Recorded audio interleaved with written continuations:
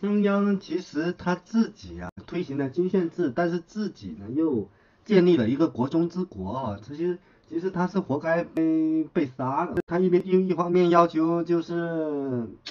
秦国的贵族把土地交出来，让这个秦国实现郡县制啊，但是呢自己呢又不断的扩大自己的贵族采邑啊，成为商君。他拥有的土地特别大，你假如去看古书的时候，你就发现，呃，商鞅大概拥有了秦国当时三分之一的地盘都属于商鞅的个人的贵族采邑哈。假如是你是秦国贵族，你会不会觉得很难受？一方面把我的土地都给收走了，说要支援国家，然后建立什么郡县制，然后自己呢就又拥有这个秦国最大贵族采邑哈，这种这种行为哈，肯定是。啊，迟早而已，反正只要商鞅的保护人，政治保护人，只要一死啊，那商鞅肯定是要倒霉的。这跟他得罪这个太子师傅是没有关系的哈，是他自己啊，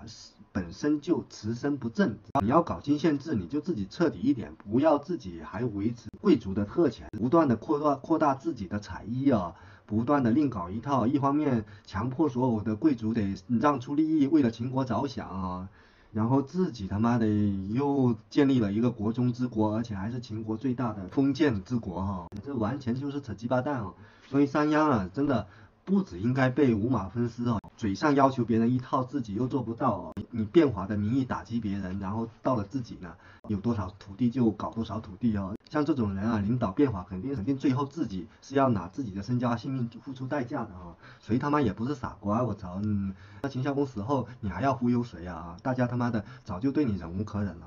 这些不是对商鞅的报报复和反弹，是商鞅自己本身就没做好这个事情，他自有其死之道。他虽然对秦国变法有功，但是他最后被秦人五马分尸，也算是嗯功过相抵吧。都是自作孽不可活。商鞅没有开创经济哦，开创经济的是那个，